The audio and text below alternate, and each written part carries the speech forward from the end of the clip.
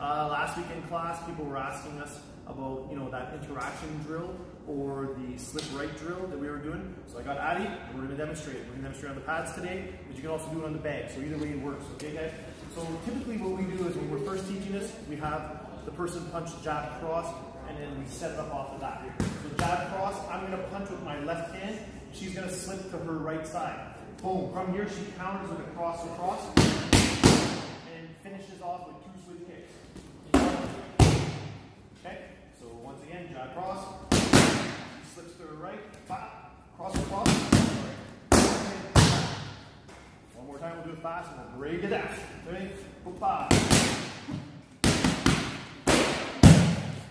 All right, so we, like I said, we typically teach this off of a jab cross, but that doesn't mean it has to be a jab cross.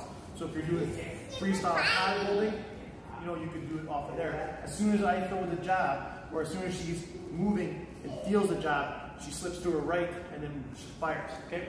So from here,